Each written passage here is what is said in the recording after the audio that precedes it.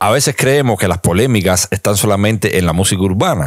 Nope. Pero esto no es cierto. Las polémicas en la música están en todos los géneros musicales. Oh, sí. Y es el caso de Rubén Blades y Willy Colón. A raíz de la última entrega de los Grammy, donde Rubén Blades fue galardonado como mejor disco tropical con el disco Siembra 45 años después, Yo agradezco mucho esta distinción que acepto a nombre de Panamá y de toda la clase artística panameña. pero a Willy Colón esto no le cuadró mucho porque a ellos en el 78 habían hecho este mismo disco, Siembra, es decir, los dos, Rubén y Willy. Hoy tengo que presenciar dolorosamente un clon de trabajo galardonado con el Grammy del mejor álbum tropical sin reconocimiento a mi contribución en su creación. Y también le tira durísimo a la academia. Hay una fórmula secreta en el éxito de los Grammys de la que no me hayan hablado. Vamos a conversar un poquito de esto hoy aquí, hablando boberías, de esta polémica de Rubén Blades con Willy Colón, dos monstruos de la salsa, porque cuando se hable de salsa hay que mencionar a estas dos personas. Son de los iniciadores, los que llevaron este género musical al éxito total. En cualquiera de los dos casos, son dos estrellas de la salsa. Rubén Blades Ella era una chica plástica. Y el gran varón Willy Colón. El gran varón. Vamos a conversar un poquito de esto y dar nuestro punto de vista aquí en Hablando Boberías. Vamos a meterle.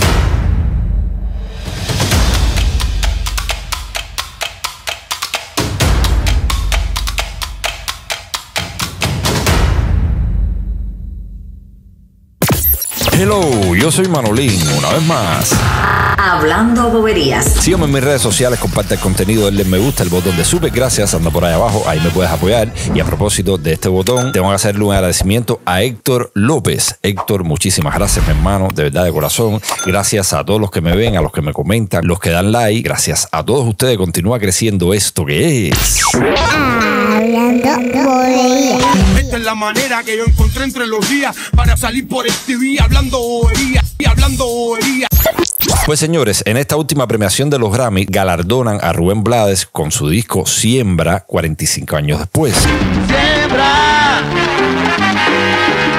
Pero para que tengan una idea de dónde viene esta polémica, en el 2022, en una presentación en Puerto Rico, Rubén Blades hace un concierto donde incluye todos los temas de este disco Siembra que había hecho con Willy en el 78, con la misma secuencia musical, es decir, los temas idénticos. No le cambió absolutamente nada.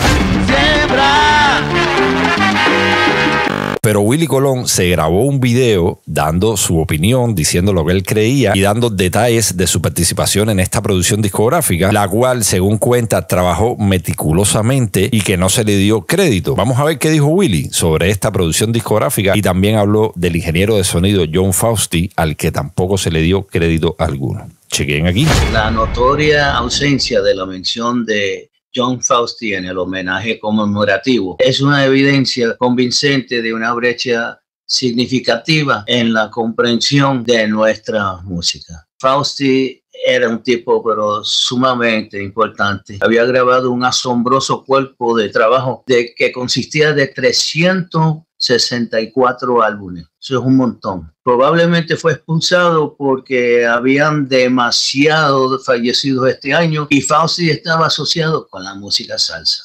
El ingeniero de sonido John Fausti, al que hace mención Willy en este video, fue uno de los máximos responsables de muchísimos éxitos de los 70 y los 80. Participó en innumerables grabaciones y precisamente de eso es lo que se queja Willy en este video, que no se le dio la mención o no se le da el crédito debido a este ingeniero de sonido. Pero sigue diciendo más cosas. El proceso de las, del, del Grammy es un mecanismo político en el que el artista o una disquera puede presentar su producción a la academia y la mayoría de las compañías discográficas se molestan. Por lo tanto, la academia está susceptible de ser presionada por sellos activistas y artistas activistas. La mayoría de los miembros de los Grammy no son latinos, por lo que no están familiarizados con el género y aceptarán cualquier cosa que le ponen sobre la mesa. Además, le están haciendo un favor. Solo están familiarizados con un par de nombres. Y cuando ven esos nombres, lo eligen. Muy pocos habrán escuchado el disco o incluso se habrán preocupado por la categoría. Solía esperar que el hada de los Grammys llegara y viniera mágicamente y eligiera mis grabaciones. Esperaba y rezaba que me eligieran e incluso ganara algún día. En mis 57 años de carrera discográfica he recibido 10 nominaciones. Si bien fui honrado por las nominaciones y estoy perplejo de que mis monstruosos álbumes, aunque salieron antes de que hubiera una categoría latina, Asalto Navideño 1 y 2, que se mantiene vigente porque reciben fuertes reproducciones y radio todos los años. Lamentablemente pasan desapercibidos y aún ni se mencionan hasta la fecha. Me entristeció cuando mis excepcionales producciones con el legendario Héctor Lavoe, periódico de ayer, y el cantante quedaron subestimadas. Mi inquietante, conmovedor y exitoso álbum Fantasmas recibió poco reconocimiento. Permítame resaltar este asunto destacando una persona que ha jugado un papel crucial en este viaje musical de la salsa, yo mismo. El gran varón Sorprendentemente, a pesar de tener varios discos taquilleros como Sin Poderte Hablar, Idilio y Talento de Televisión, ni un solo Grammy ha adornado mi colección, excepto un solitario Grammy por trayectoria, que puede haber sido otorgado para reconocer una larga e impactante carrera. Incluso mi producción original de siembra, un logro artístico monumental. Fue pasada por alto cuando se trataba de premios. Mientras tanto, vi a los mismos artistas obtener sin esfuerzo los elogios de los Grammys una y otra vez. Esto me llevó a preguntarme, ¿hay una fórmula secreta en el éxito de los Grammys de la que no me hayan hablado? Como artista adulto ahora me doy cuenta de que hay un proceso y es como conseguir una estrella de Hollywood nadie va a venir a dártelo porque te lo mereces. Hay que hacer campaña. He observado casos donde cierta canción obtiene el codiciado trofeo cuando se presenta en otro estilo diferente. Han habido discos que han languecido en una relativamente oscuridad sin tener cerco tocado por las masas, nadie lo ha oído, nadie lo compró, pero de alguna manera han alcanzado la prominencia de los grandes. Ahora reflexiono sobre una pregunta conmovedora que trasciende los meros elogios. Si bien puedo carecer de un reclamo legal, lo que ha sucedido con una clonación de mi álbum Siembra, sin mi participación directa, se alinea con los principios de equidad e integridad. En el siembra original reuní meticulosamente al personal, seleccioné a los arreglistas, seleccioné cuidadosamente las canciones y tomé decisiones críticas con respecto al enfoque y el estilo, los ritmos, las armonías empleadas en los coros. Se dedicaron incontables horas en el estudio supervisando todos los aspectos de este álbum, produciendo interpretaciones sobre grabación, hasta mezclas y remezclas. Hoy en día es inquietante fácil para otros replicar el álbum sin mi presencia. Y lo hicieron. Hoy tengo que presenciar dolorosamente un clon de trabajo galardonado con el Grammy del mejor álbum tropical sin reconocimiento a mi contribución en su creación. Si bien esto puede ser legal, hay que hacer una pausa y considerar si esto encarna éticamente los valores que apreciamos en el mundo de la música. Pero que mira, mira, no te dejes confundir, siembra.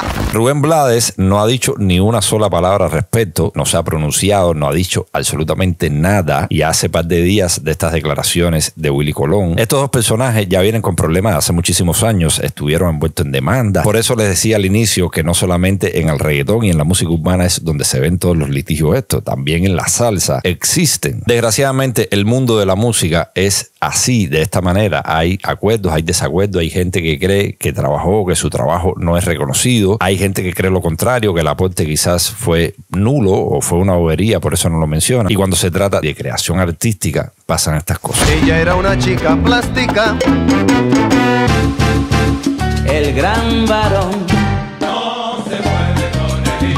Yo, uno de los géneros musicales que más disfruto desde hace muchísimo tiempo, creo que desde que era un adolescente, es la salsa. Por supuesto, vivo en un país tropical donde además es el fundador, es el creador de esto que conocemos salsa. Yo soy de la tierra de Arsenio Rodríguez.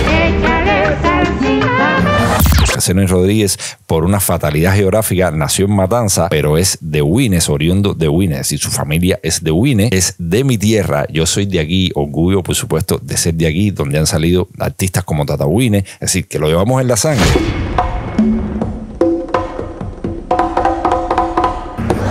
Y yo, además de que me gusta muchísimo el rap y me gusta toda la música, disfruto en gran medida la salsa. Que sin salsa no hay paraíso. Para mí, la salsa es música cubana con nombre nuevo. Venga de Puerto Rico, de Panamá, de Colombia, de donde venga, la disfruto igual, siempre y cuando yo considere que esté bien hecha, por supuesto que la disfruto muchísimo. Y es una lástima que esté pasando esto con estas dos figuras tan grandes en la historia de la salsa latina. Pero yo me quedo principalmente con el mensaje que Willy le da a los premios Grammy, que hay personas como él con un legado musical tremendo y que no han podido alcanzar un solo galardón. Y artistas o artistas que tienen cierto talento y más para los negocios que para la música han alcanzado un montón de premios Grammy. From Guinness, Mayabeque, Cuba. Hablando boberías. Al final, todas estas premiaciones son un engaño, todo es un negocio, todo es una mentira, todo es movido por el dinero y es lamentable que sucedan estas cosas. Déjenme saber qué creen ustedes en los comentarios de estas palabras de Willy Colón. Yo comparto, por supuesto, totalmente. No sé bien los detalles, ni las demandas, ni las contrademandas, ni el conflicto en sí, pero me puede dar una idea de todo lo que está sucediendo. Y usted, díganme en los comentarios qué creen. Mis redes sociales están por aquí, el botón de super gracias está por ahí abajo, ahí me puedes apoyar y muchísimo. Y nosotros nos volveremos a encontrar en el próximo Hablando Boberías. Chao. Esta fue una presentación de Manolín Vázquez. Nos volveremos a encontrar en la próxima edición.